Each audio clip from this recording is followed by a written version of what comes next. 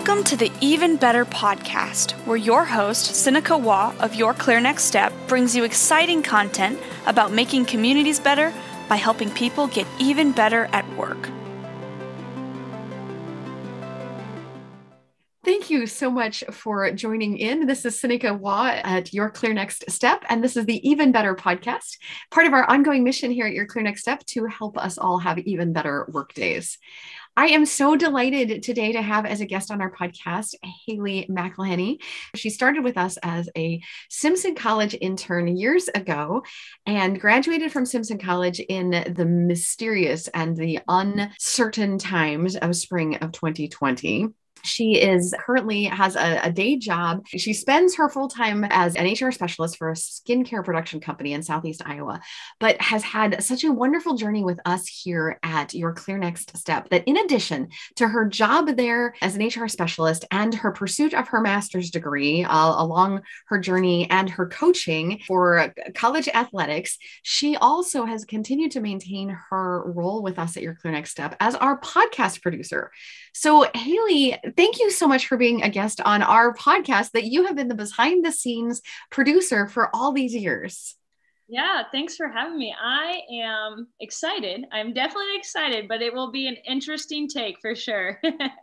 this is great. I am so delighted to have you as part of this story because I think I think it's really a fascinating journey. And, and I love bringing you closer to the microphone instead of just on the editing side, because I think it's important for our listeners to hear part of your story and part of your journey. Because if I recall correctly, when you were studying at Simpson College, you were not studying communications and media production, right? Correct. I was not. No. you did not dream of producing podcasts. No, that was not in the game plan. No, not at all. And when you were doing your internship with us, you you started in, and you you spent some time with us as an intern, just doing wonderful work with us as a team. But you weren't doing the podcast as your as your regular intern job. Not entirely. No, it was way scaled back. I would say. Absolutely. And so then when you took over the podcast actually and, and made it your own, that was after graduation, after the uncertainty of 2020 and kind of the mystery of what's going to happen next. And, and we started to sort of find our groove. And then there was a moment where you raised your hand and you said, Yeah, I could own that. I could I could do that. I could I could do the podcast. That's a that's a piece that I could own. Mm-hmm. And I don't know what your thoughts were at that moment, but I remember thinking, this is it. Haley, with her ability to, to just carve things off and, and take ownership of those beginning, middle, and end, to take ownership of the podcast.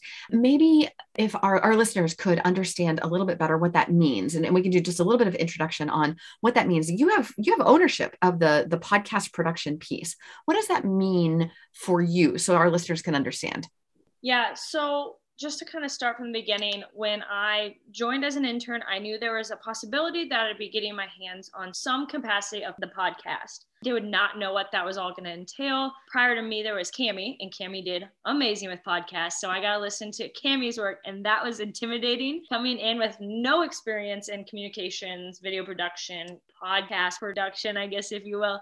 So that was really intimidating. And I remember meeting Cami in the student center at Simpson, just going over everything and being like, okay, taking notes, lots of notes, lots of notes, and growing from that position to where I'm at now with podcasts, where I can feel comfortable. Like Sinikka has this list of people, I have their emails. I feel comfortable. I'm going to shoot them email. Sinikka might be busy. Aaron might be busy. I'll just copy them on. Let's get things rolling the confidence that has come from start to here, I think has really helped in the ownership part of it, hmm. just growing in that aspect. And I'll get more into that as we talk. That has been a big part of kind of owning the podcast. The other part of it, like you mentioned, I just kind of stumbled into this. and so a lot of it is kind of like I wouldn't say faking it till you make it because I've kind of been upfront with like I'm willing to learn and there's been no faking. It's just learning as you go, really. And that's kind of the take I've had with it, anyways, stumbling into it and just trying new things. You're always really great about during our one on ones or our company meetings. What could we do different? What can, you know, you let me throw out my opinions, which is kind of how we got to this point, even talking about, you know, when we're in a scheduling lull and we need people luckily you have a company with great coaches and a lot of great people have great ideas I threw out, hey, why don't we ask, you know, some of our coaches or our trainers if we're in a lull, can we schedule out some time to talk about one of your specific promotions or skills or something that they train? And that's kind of how we got to hear after that conversation. You're like, hey, why don't you do a podcast? And I was like, hey, again, never done it. Let's stumble our way into this one. So that's kind of how I've gotten to just take ownership. And I'd say confidence has really been the driving force there, helping me just realize, you know, I've learned it to this point. I can maybe grow it to this point. Absolutely. So I think what we're looking at here, the concept and the the this the theme of this interview are there, they're kind of three surprising ways you've grown by editing a podcast. And I just think it's so cool. It's it's so practical. It's not it's not because editing a podcast. So if, if you're listening right now and you're thinking to yourself, well, I'm never, never going to edit a podcast. Well, I believe that a number of years ago, Haley would have been sitting in a chair thinking to herself, well, I'm never going to edit a podcast. And that is simply not the case, right? There, here she is editing a mm-hmm. podcast. But it's not about the content. It's not about the act of editing a podcast. It's the it's the process and the journey of trying something new, of, of stumbling into something, of taking advantage of the opportunities that are presented to you, and then learning from that and growing from that. And then from time to time, really stopping and looking back and saying, whoa, what have I learned here? How have I grown? What are the things, what are the skills that I can add to my repertoire now? What are the things that I can say I can do? What are the what are the ways that I personally and professionally have grown and, and matured? And, and how does that make me an even better human than I was three years ago or or yesterday, for heaven's sakes? So that's what we're talking about. Three surprising ways that Haley, that, that I have grown, that Haley has grown, right? The three surprising ways to grow from something like editing a podcast. So let's dive right in. Your first one, Haley, the first one that the first way that you've grown is through patience. Well, I that is a place where I would love to grow. So let's talk about that. How has your patience grown? Absolutely. So, like I kind of mentioned in the beginning, it started with me and Cami in the student center, her teaching me the ropes. Like I said at the time, it was very intimidating because it was an established podcast with an established audience. And at the time, like it was a lot of your clients. So it already had an established reputation, very established podcast, as you can tell. so learning the keys, you know, a lot of it, I was qualified purely from the fact that I had an Apple computer that had GarageBand. so trying to figure out the shortcuts in GarageBand or the Command T, I use that every time to cut and delete and finding along the way new tricks and tips of drags and replacing. I remember the first real big edit I had to do there was a dog barking. I was like, how am I gonna how am I gonna get rid of this? You know, just and I am not a professional podcast editor or even noise production specialist of any kind. So there's a lot of ways that I would say even someone with no experience kicking it around those things. And sometimes we have to re-record bits, and that's okay. And we slap them in there. No one ever knows. But the patience that goes behind just learning the keys, learning what works best with my skills and my speed on the podcast. I know a lot of the times when I first started, I was scared to hit a certain key because all of a sudden something would pop up. I'm like, did I lose the audio? Did I crash this? You know, you don't, I, you don't know. And so just kind of that kind of builds in with the confidence too. Being patient with yourself having a backup recording document is key like we do. Just in case for those those slip ups or something. Always saving at the critical times so that you've made a lot of progress stuff like that. And if you're going to try something new just have a copy ready to go that is saved. The other part of patience i would say there's two more small parts. I put in here the um, buts, ahs, and pauses, which this whole podcast, since we've already started, I hear the ums and I'm like, I'm gonna get that in a week. I'm gonna have to edit that out. Going through editing other podcasts and feeling like you have a flow, and then there's an um, or there's a uh, or there there's something that just doesn't flow with the audio. Having to stop if you're in a flow of your own kind of can get a little frustrating. But I'd say the longer I've done this now, it's like oh, click, click, click, good. There goes the yum. Or like I said earlier, when I'm trying new methods I could do just a split in the screen and then drag it, whatever's comfortable. But I would say that when I first started it, I every um pause, uh, I would hear, I'd always be like, oh, and then worried I'd missed one. The patience that I have now versus when I started, you know, it's just a quick fix. It's it's an um, we'll move on. They'll never know just will know. so that is one big thing. And then the last part of that patience, I would say, almost primarily at my end anyway, the communication on podcast for the most part is email. There are those times where you meet someone in person and they just have a really good attitude or spirit, and you're like, that would be great. You have a great energy almost mm-hmm. to bring to the podcast. And so, those instances, then we get an email and follow up but it's just understanding and having patience with everyone that everyone has a schedule of their own, a life of their own, and tendencies of their own. They may not check their emails. I check my emails even on the weekends because my personal email on the weekends. Why? Because I like to just know what I'm getting into come Monday.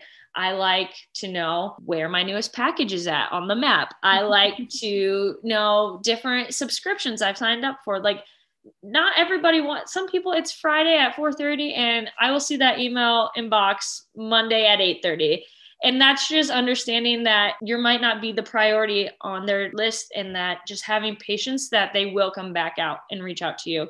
And if not it never hurts to like reach out to them because they will also appreciate the fact that you were patient and didn't email them three times a day trying to just line up a podcast schedule. Right for sure. When I'm thinking about the patience that comes with learning and the, the trial and error and the trial and error that sometimes when we want when we want results right we want something to be perfect it doesn't come out perfect when we're learning a new skill it, it doesn't it's not perfect the first time i was doing something with my daughter this recently at, at the gym and she's trying to teach me a, a new exercise or a new fitness routine and she makes it look so easy and i'm you know a few years older than she is and a bit out of practice and so we're doing something and and I want the immediate results and I want it to be perfect. And it, it's not going to be perfect, right? You just you trial and error. You just you got to try it and you got to be patient with the results. And I just, I think about the, the patience that it takes and that I know you applied in those early days of just, okay, we're just going to try this. And, and then we're just going to keep at it we're going to keep at it. And now eh, to your point the things that that before would have taken you minutes or or hours now are are a matter of seconds or moments right as opposed to minutes or hours. It, it gets faster it gets easier and and as it does when you're learning any new skill. Exactly yeah. You bet. So, three surprising things you've learned by editing a podcast. First one was patience, Haley. The second one is understanding let's talk about that one. I, I, think you were hinting a little bit about it on the communication, the, the awareness that we've all got kind of different styles and different approaches and different schedules. But but tell me tell me more about understanding. You've got more there. Yeah, absolutely. This might be my favorite one in the three points, just because you have such a great network mm-hmm. and you've had so many unique guests come on. And in the early days, I would get to meet the guests via Zoom mm-hmm. briefly in this setting now I don't get that opportunity. Yet when I'm editing the podcast, just from the brief emails and just listening to the recording and listening to your guys' conversation, I feel like I have a professional relationship. I feel like I've known them and that we are having this conversation just because of the authenticity of their energy and their meaning behind what they're saying. Like they're coming on your podcast because they care about what they have to say. And so it's really fun for that. And in that aspect, bringing all these different people on, the things that I've just learned. I get to listen to every single podcast. That is the perk of being the editor is I get to listen to every single thing behind the scenes and for everyone. I think everyone should do that. So listeners, make sure you share and listen to all of our podcasts because all of our guests have really really great insights. But there's so many times that I'll like stop the editing and I'll be like that was good. And I remember several times I've been editing and I'm like I I needed to hear that. Mm. That is really resonating with me. That is really giving me a new perspective or solidifying a perspective I already had or completely crushing a perspective I already had. And so I really appreciate those moments. And actually, throughout my master's class, I would use the podcast as a reference in posts or papers. There's just been so many good ones where I'm like, these people, everyone has an experience that they can share that is going to impact someone else.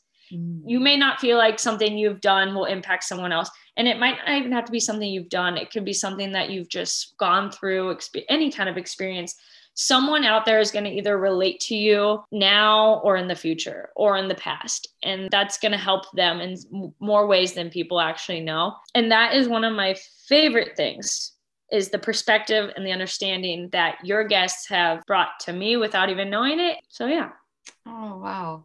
Thank you. That is so cool, Haley. And I, I'm thinking about the the guests that that have been on and the the conversations that I've had. It's it's some of my favorite moments in the last couple of years have been recording the podcasts and these these just quiet conversations that I get to have with people and, and hear them talk about their very favorite topics the things they're most passionate about.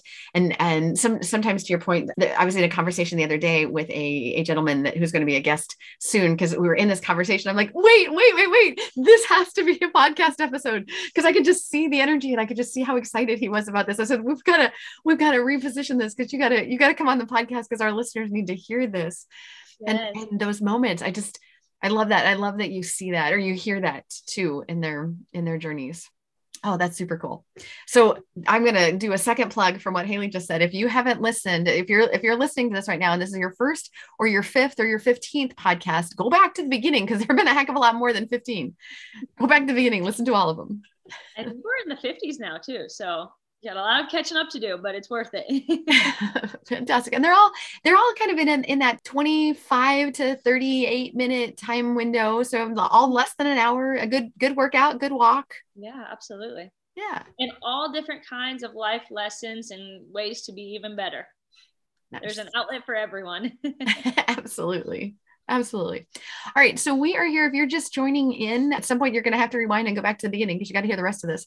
But we are here with Haley McElhinney, and we are talking about three surprising ways that she's grown by editing a podcast. And first one was patience. The second one was understanding. And we're moving on to the third one, which is opportunity. Let's talk about that one. So the opportunity of this in more ways than one, basic is opportunity to grow in November 2019 is when I started as an intern with Your Clear Next Step. I would not have guessed I would still be here editing a podcast in 2022. There was times there like 2020 happened and we had to be let off.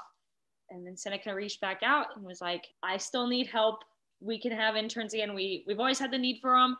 We didn't have necessarily the resources to have them at the time, but we came back and I was hands off podcast there for a while. We were doing some outbound calling and stuff like that, but I stuck with it. I really enjoyed it.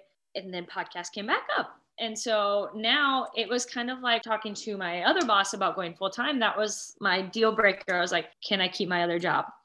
The opportunity that I came from stumbling into, sure, I'll take on podcasts for you in 2019. And now I am the podcast producer in 2022 within the same company that is just a huge opportunity that I would never have taken if I didn't just try to mm-hmm. try something new. So that is one big thing that I would say comes from the opportunity. The other thing from that, like I mentioned previously, the understanding, the opportunity to open yourself up to new ideas and perspectives and thoughts can really just help you understand yourself better, everyone else better. And it just makes, I feel, for like a happier person. You're not so angry because you don't understand that. Well, it's okay to not understand that. It's okay to try. It's okay if you don't understand and you're not getting there. It's okay to be open about that and communicate, hey, I don't understand. I think understanding is really important in all aspects of life, not just professional. I think personal too. You need to try to have an understanding. And this has given me the opportunity to have more understanding. Mm and then the network side of it like i said i get to i get to meet a lot of really cool people through ycns and the podcast specifically and so that's been really really fun for me nice yeah the the network that you've expanded i know at the beginning you did get to be on screen a little bit especially back in the in the early days when i was like okay i don't think my brain can handle talking to people and pushing the record button at the same time.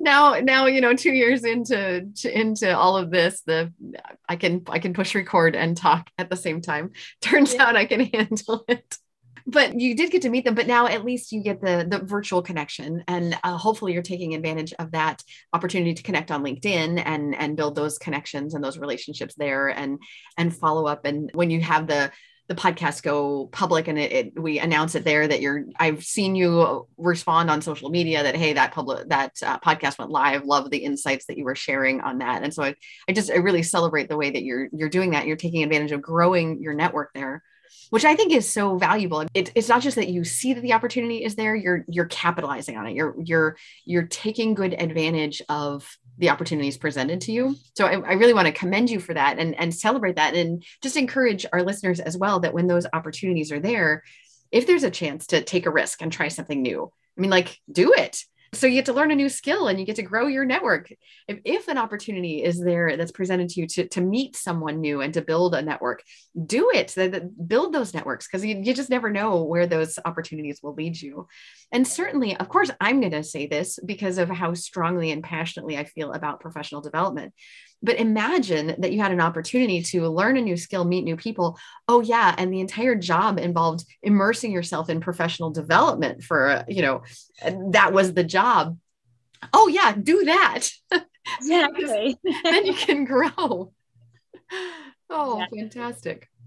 Well, this has been great. I just I I appreciate your being willing to share your story about the because I, I think we go I go back to that same point that it doesn't it wouldn't have to be a podcast producer. Like I, am not advocating that everyone out there go look for an opportunity to be a podcast producer, but I am advocating that if you're listening to this podcast right now and there's an opportunity in front of you to try something new, to, to take a risk, to to, to do something you've maybe never done before or to to take ownership of a portion of your job that maybe maybe it's a little scary maybe it's new and different but it it could be something that go go and try it. And then at some point stop and look back at how far you've come and what you've learned.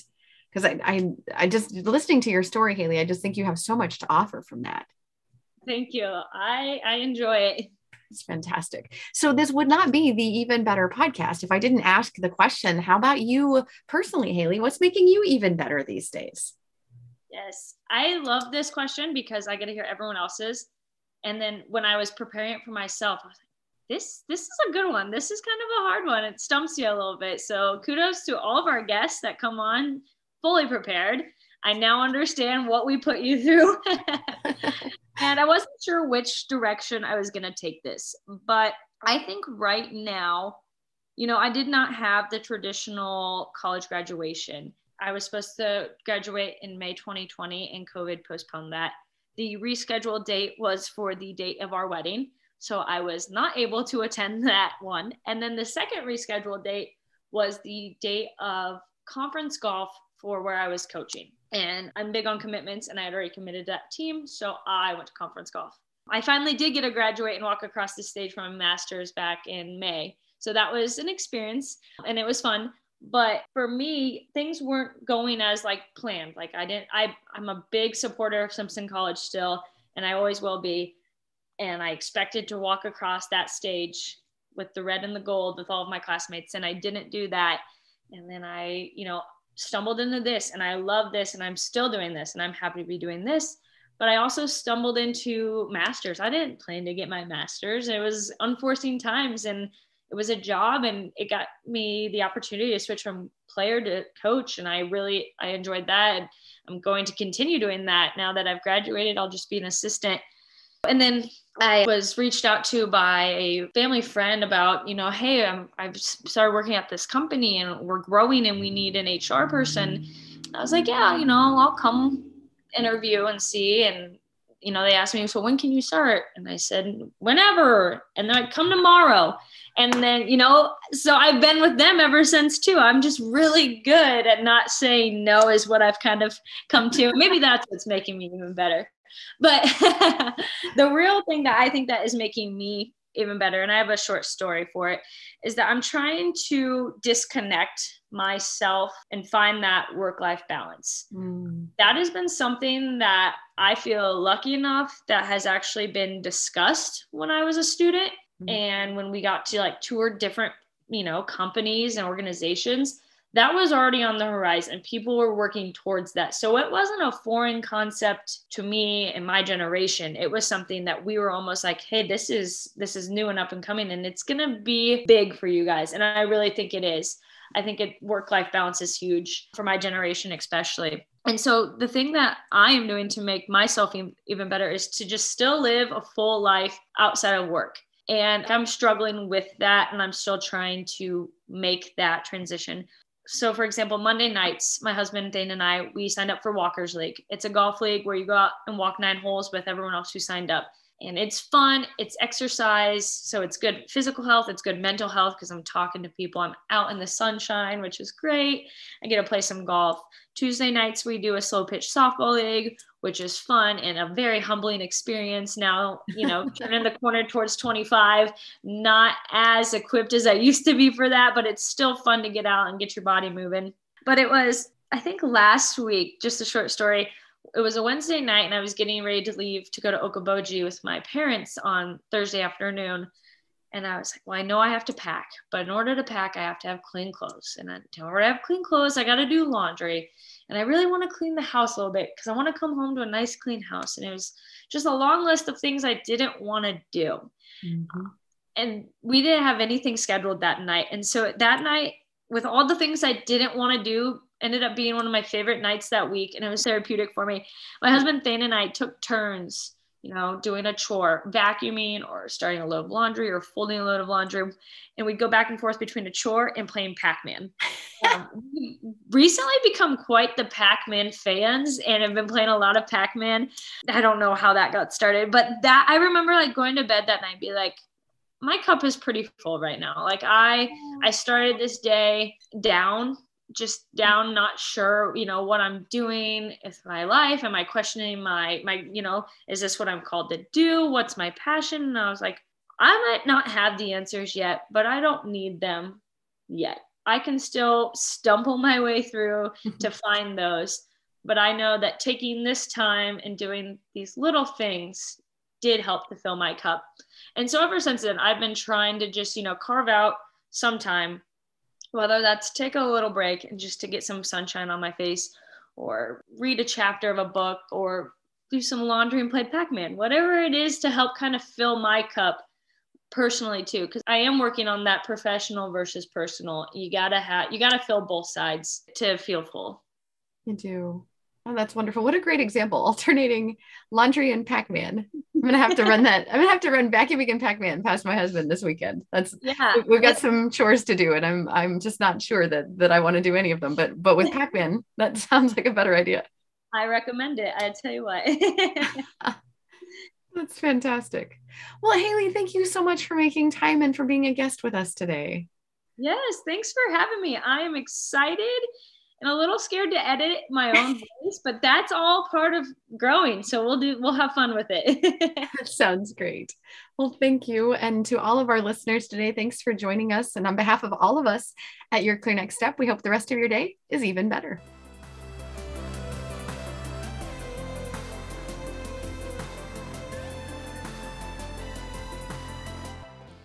Thank you for tuning in today. The Even Better podcast will be back with more content soon. But in the meantime, subscribe to our podcast or check out our website at yourclearnextstep.com for more information. See you next episode.